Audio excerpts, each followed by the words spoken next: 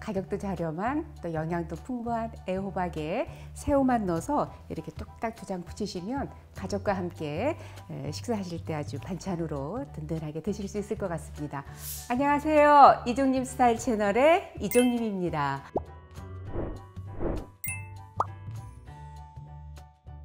오늘은 애호박에 냉동실에 보면은 해산물 중에 새우 좀 있을 것 같거든요. 그래서 오늘은 제가 새우를 넣었는데 애호박 이렇게 큼직한 거 지금 오늘은 유난히 호박이 좀 크네요. 한 개 가지고 오늘 애호박 새우전을 만들어 볼까 합니다.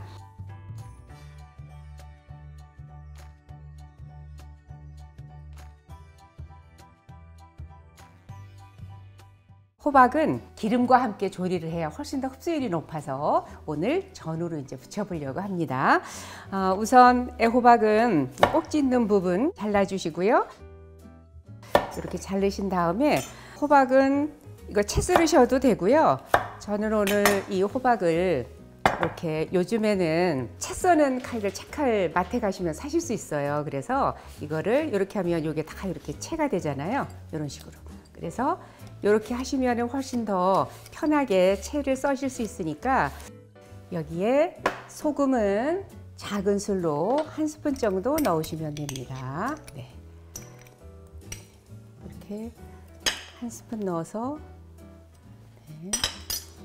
고루 버무려서 한 5분 정도만 절이시면 됩니다. 네. 네.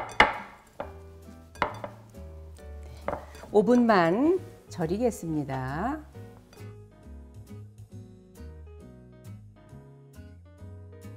호박은 약간 좀 이렇게 씹히는 맛이 있, 있지만 부드럽잖아요. 그래서 여기에 저는 양파를 썰겠습니다.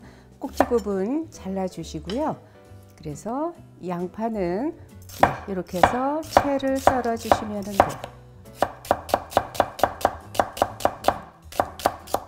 여기에 풋고추, 홍고추는 이거는 풋고추인데요. 칼칼한 거 좋아하는 사람은 청양고추를 준비하셔도 괜찮습니다. 홍고추 이렇게 그냥 송송 써시면 됩니다. 풋고추나 청양고추, 홍고추를 그냥 송송 이렇게 썰어서 그냥 넣으셔도 되고요. 씨가 좀 지저분해서 거실리면 물에 한번 이렇게 헹궈서 넣으셔도 됩니다. 네. 그냥 이렇게 한 번만. 이 새우는 이게 작으니까 굳이 자르지 않고 그냥 넣어서 지질 거예요. 네, 이제 오븐이 돼서 물기를 좀 짜겠습니다. 네. 면보로 하셔도 되고요. 면보가 없으신 분들은 키친타월 좀 두껍게 하셔서 짜셔도 되니까. 네.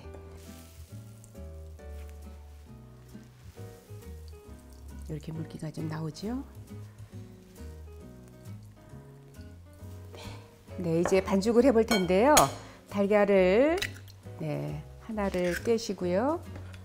잘 풀은 다음에 양파 넣으시고요. 그다음에 고추, 홍고추 넣으시고 호박 넣으시고요. 새우 넣으시고 여기에 부침가루나 튀김가루 넣어서 반죽을 이렇게 해주시면 됩니다.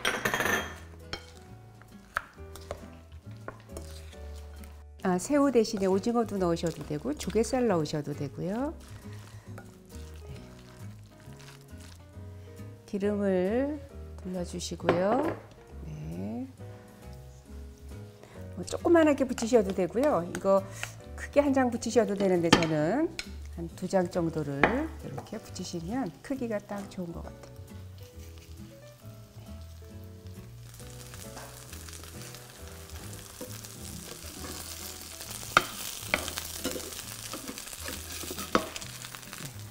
이렇게 뒤지시면 좋아요. 네, 이렇게.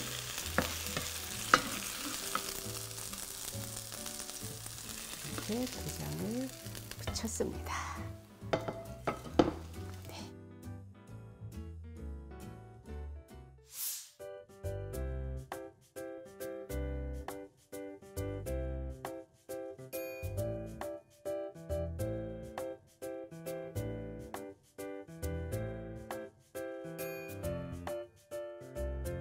요즘에 한참 또 가격도 저렴한 또 영양도 풍부한 애호박에 새우만 넣어서 이렇게 뚝딱 두장 붙이시면 가족과 함께 에, 식사하실 때 아주 반찬으로 든든하게 드실 수 있을 것 같습니다.